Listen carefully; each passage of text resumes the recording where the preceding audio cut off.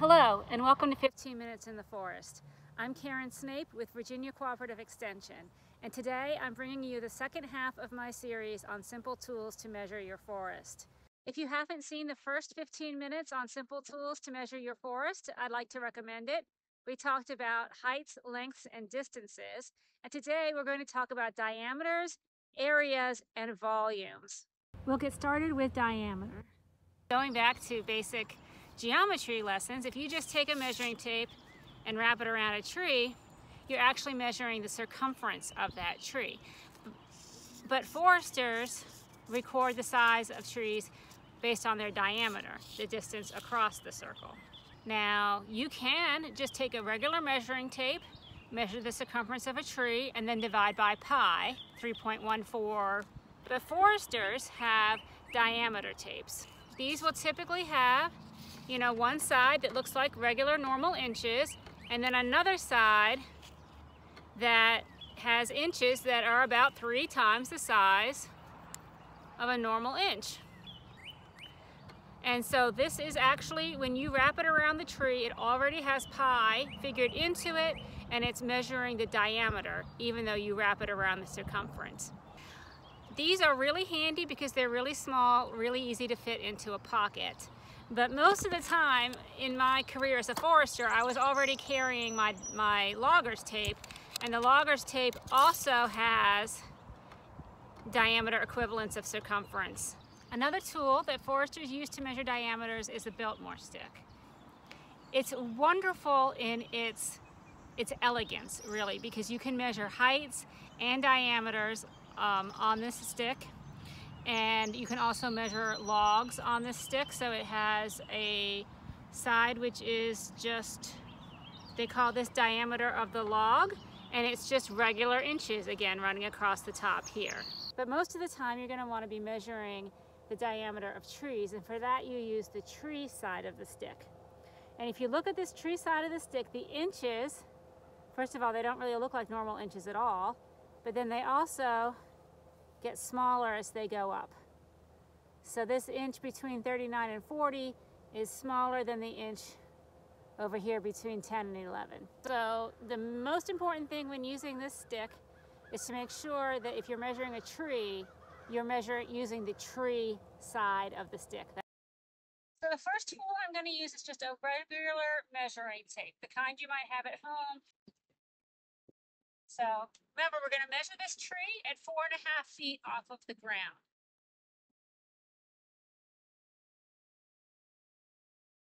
This tree is about 40 and a half inches in circumference. So you would divide that by three in order to get the diameter. So 40 divided by 3, uh, about 13. And we're going to use the side with the really big inches, the 3 inch inches. Again, we're going to measure this at standard height. So there you can see about 12.9. So the, uh, the D-tape has a little bit of an extra tail on it. Make sure you're measuring from the line, the zero line, not from the end of the tape. All right, now we're gonna try this again using the Biltmore stick.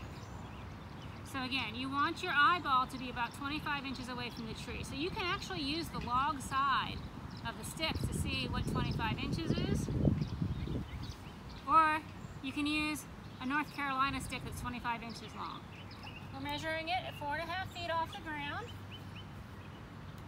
And get our eyeball 25 inches from the tree And then make sure that you're using diameter of tree side, which is the one with the wonky inches.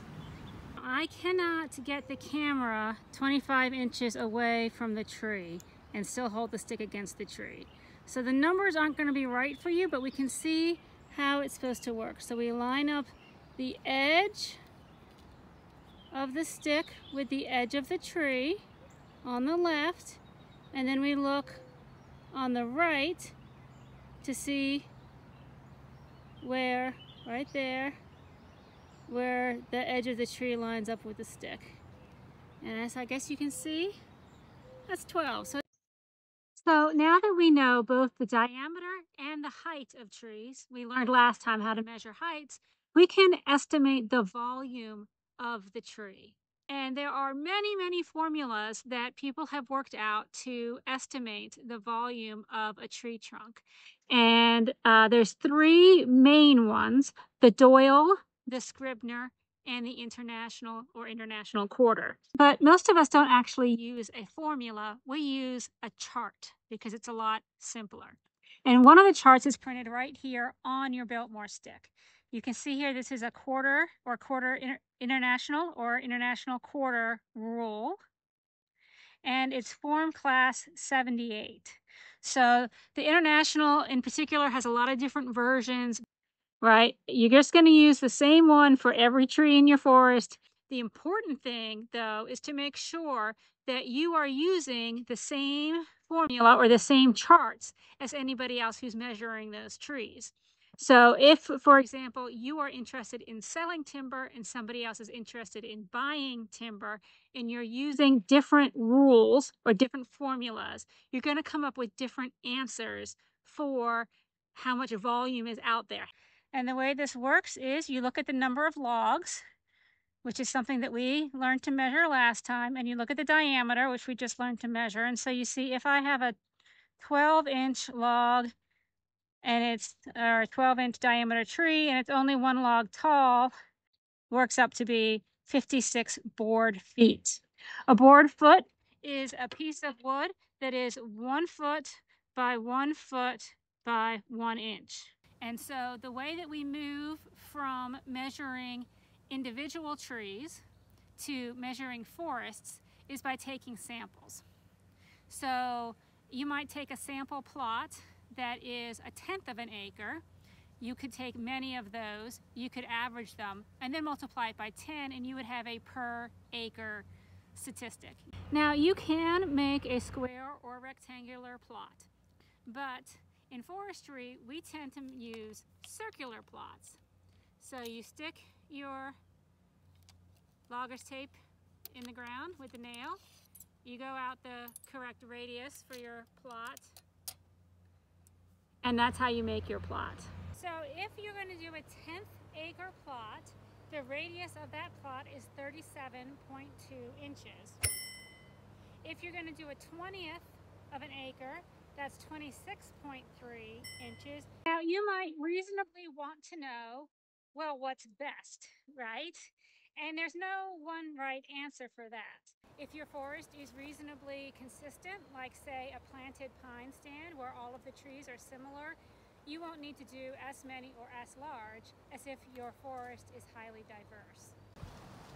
Okay, now for demonstration purposes, I'm going to do a 100th acre plot that's a radius of 11.8 feet. And I'm going to make this the plot center, and I'm going to go out and around. What we're going to do is we're going to count all of the trees that are within our 100th acre plot. We're going to count them, we're going to record the species, and we're going to record the diameter. So this tree is in because it is within 11.8 feet of plot center. It is a box elder. I'm going to call that 23 inches in diameter. Back to 11.8. We keep on going. This tree is out because it's more than 11.8 inches from the center of the plot. We don't count it, we don't measure it, we just ignore it and keep on going. So we go the whole way around the circle and at the end we have a count for the number of trees per hundredth of an acre and also we know the species and the size of those trees. So you would multiply by 100 to find out trees per acre. I'm going to show you one more thing, which is double trunks and trees that are uh, just on the border.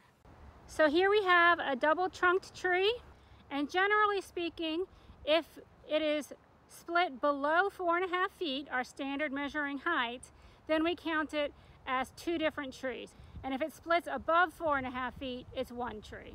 So we would count this as two trees, and one of those could be in and one of those could be out.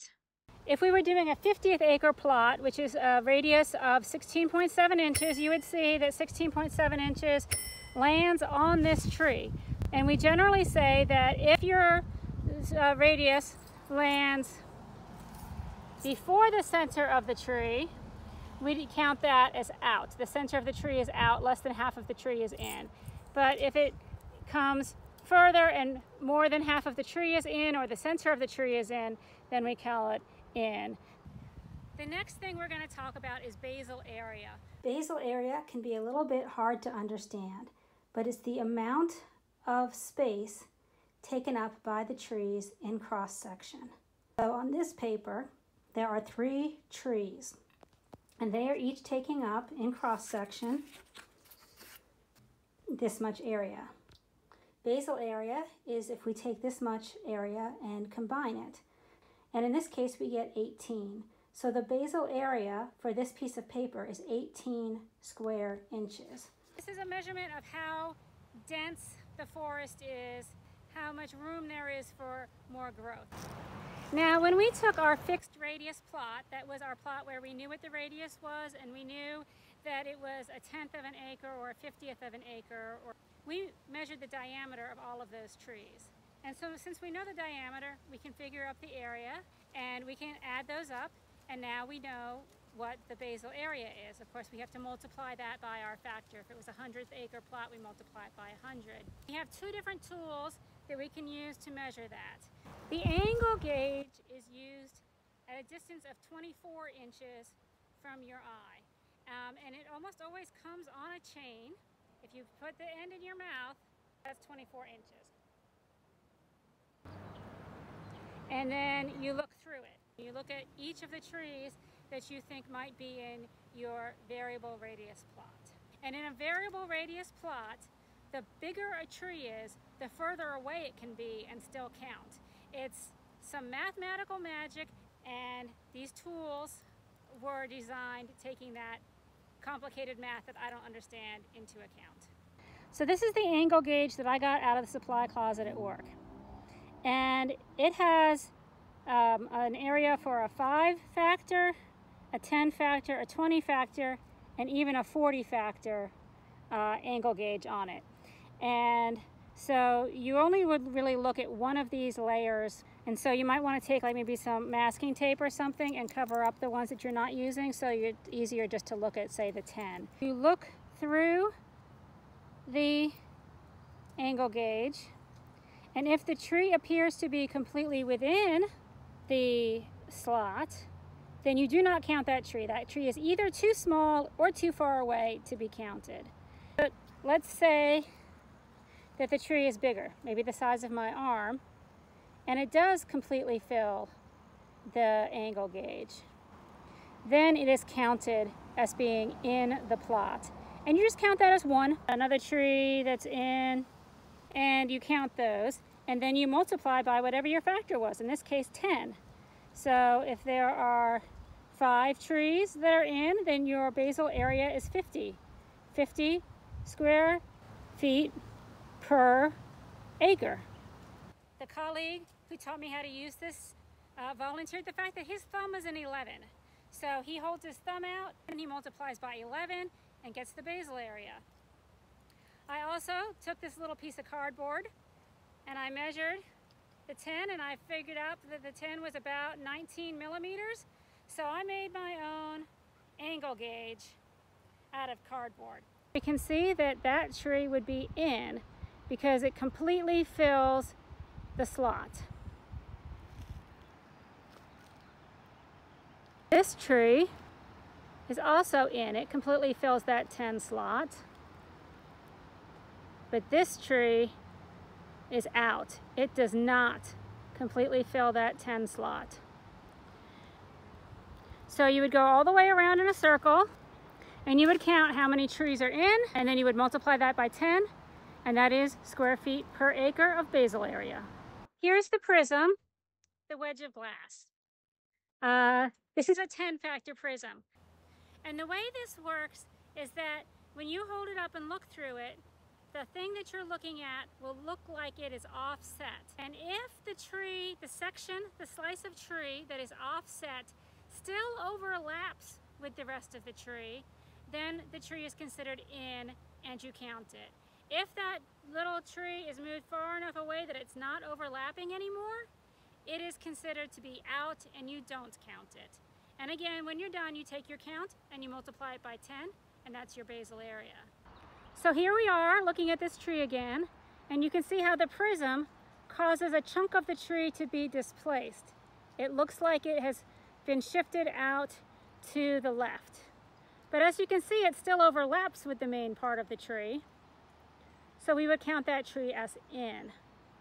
Now, interestingly, when we're using the angle gauge, we are the plot center and we turn and move the angle gauge so that it's always 24 inches in front of us. With the prism, it is the center and we try to hold it in the same spot and rotate around it.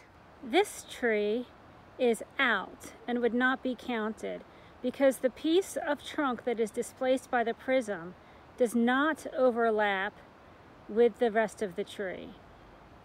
So with that, I've shown you all of the tools that I have to measure your forest. I hope you've enjoyed this 15 minutes in the forest. Please join us in two weeks for where Bill Worrell will have another video for you.